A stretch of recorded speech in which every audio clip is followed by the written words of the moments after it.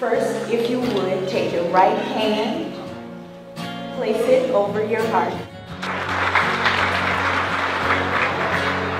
To know that my work has already reached far and impacted a lot of people enough to really matter and, and get an award for it, that is just, that's really blowing my mind. I'm shaking, but, I feel very humbled. Um, the women in my category, my fellow nominees are phenomenal. I look up to them.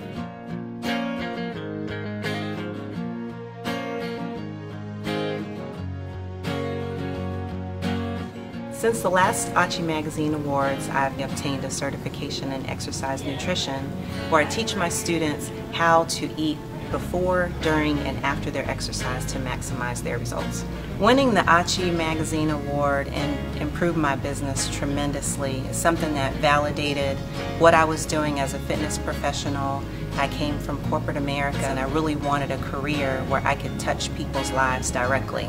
So winning the Achi Magazine Award helped to validate that I was on the right track.